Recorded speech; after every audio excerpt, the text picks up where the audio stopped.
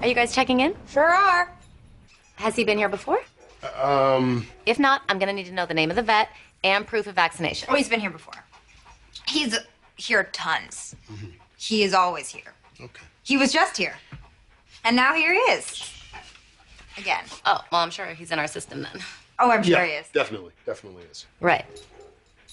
So, name, please. I'm George. Tessa. And this is. Buckles. Buckles is his name. Really? Buckles? Oh, yeah. There's gotta be a Buckles in this town. Why do you think that?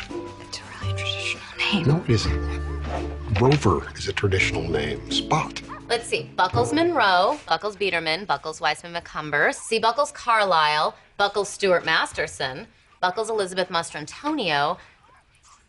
We have about 50 dogs named Buckles in our system.